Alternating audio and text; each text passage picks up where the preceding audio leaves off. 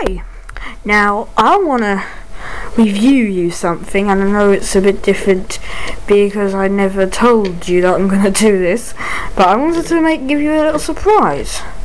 You know, it's normal, as you can see the dark spinning because I'm pushing a finger look, but I like to keep like this. So, I'm going to be reviewing the Dalek, the Dalek, okay, I'll speak normally. But I'm going to be reviewing the Ironside Dalek. As you may see, I'm a little Doctor Who fan, of course. Everybody can be. Not stopping anybody being a Doctor Who fan. So I'm just going to pick it up and I'm going to show you some details. As you can see on the eye, they made it blue, of course, because a lot of all the Daleks are blue except for the latest Daleks, you know, the Eternal Daleks. Um, as you can see, it's remote control, but I don't want to show you the remote control yet because I'll show you that soon. Obviously, I'm going to now um, show you the back of the Dalek first to start off with. It has a silver kind of, I don't know, I don't know how, how I can explain it. It's sort of like, it looks to me like a pot. You put in the conversation below if you know what it is.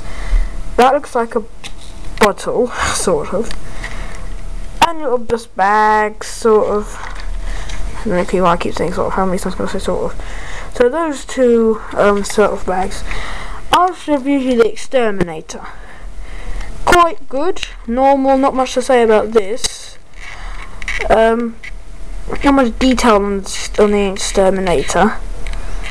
Normally, well, who would put a detail on the Exterminator? I don't know what the hell this is called. What the hell? Don't know what this is called. You know what? Put my comment below. How many times can I say that? So, I basically want to say that mainly this Dalek doesn't have many details, but I know that it's different to normal Daleks basically.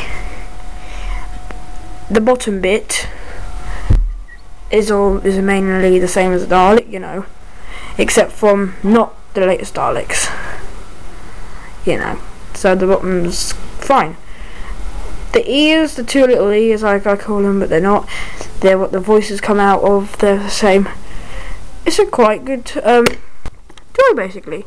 So the next one I'm going to be reviewing is going to be the Cybermen, the two Cybermen.